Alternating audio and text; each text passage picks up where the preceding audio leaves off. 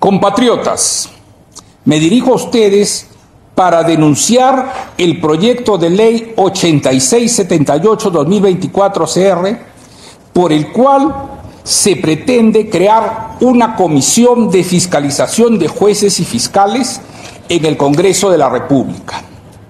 Este proyecto, que aparentemente tendría una función de control, en realidad es un proyecto antidemocrático y anticonstitucional, que refleja un espíritu totalitario de controlar a los organismos de la Administración de Justicia.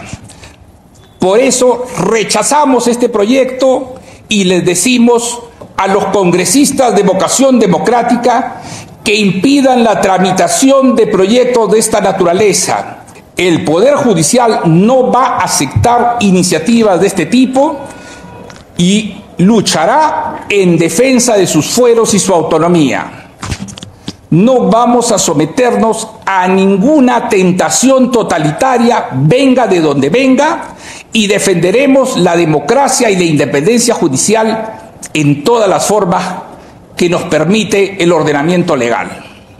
Exhortamos a la presidencia del Congreso a revisar este tipo de proyectos que solo contribuyen al enfrentamiento innecesario entre los poderes del Estado y que por supuesto dañan la imagen de nuestra patria. El Poder Judicial actuará independientemente, aunque no sea ello de agrado de ciertos sectores, porque sobre todo nos debemos a la Constitución y a la ley. Gracias.